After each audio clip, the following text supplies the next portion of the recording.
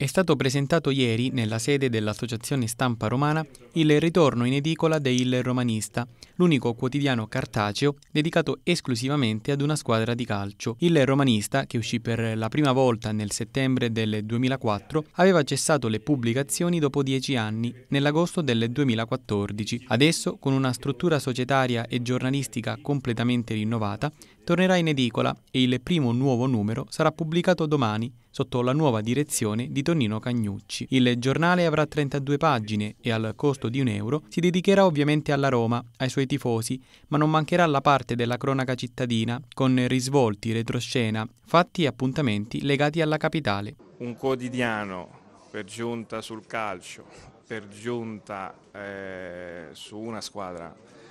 eh, soltanto, è l'unico quotidiano al mondo eh, dedicato a una squadra di calcio, eh, insomma, è un fatto che dire in controtendenza è dire anche poco. Significa per chi è innamorato della carta stampata e anche di un certo modo di raccontare le cose,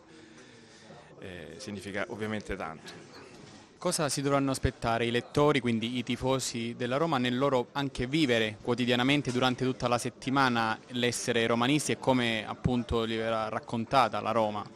È raccontata da, dai romanisti, quindi si dovranno aspettare loro stessi, nel senso c'è un sentimento generalizzato del, del romanismo, dell'essere romanisti che con tutte le sue sfumature, con tutte le sue anche contraddizioni, con tutte le, le, le diverse prese di posizione, che in verità in questo periodo è veramente eh, variegato come situazione, però ha un, un, un, sentire comune che è quello appunto di essere tifosi a Roma e que quello lo trovano sicuro.